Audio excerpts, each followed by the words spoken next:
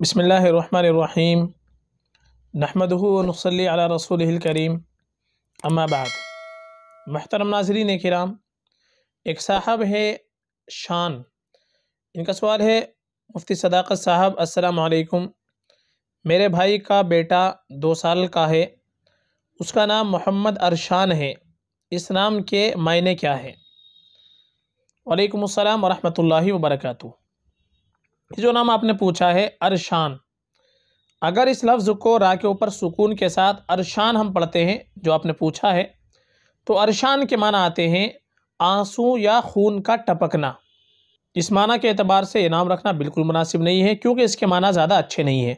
आँसू का टपकना या खून का टपकना, ये माना नाम के लिए बिल्कुल मुनासिब नहीं है। बाकी अगर हम इसको पढ़ते हैं, अरीशान, रा के नीचे जहर के साथ, अरीशान। अरिशान के माना फिर आएँगे बहुत ज़्यादा समझदार। और ये ईरानी बादशाहों में से एक बादशाह के बेटे का भी नाम था। इसलिए अरिशान नाम तो माना के अतबार से अच्छा है।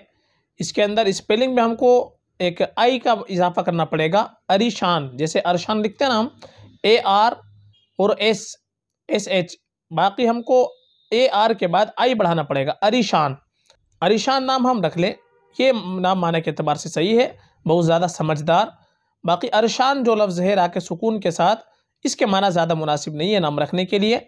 बाकी अगर नाम रखा हुआ है, जैसे आप बता रहे हैं कि दो साल बेटे को हो चुके हैं तो अगर नाम चेंज करने में अगर दिक्कत हो, परेशानी हो तो फिर तो रहने दीजिए। लेकिन अगर आसानी से नाम चेंज हो जाए तो बेहतर यह है कि आप अच्छे माना वाला नाम रख लें या इसको अरशान को अरिशान कर दें बाकी अगर परेशानी होती है, दिक्कत होती है तो फिर रहने भी दीजिए, कोई मसला नहीं है।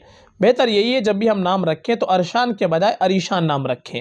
या फिर हमको अम्बिया के नाम वसलाम के सहाबा के और बुज़ुर्गों के नामों पर, नेक लोगों के नामों पर नाम रखने की कोशिश करनी चाहिए।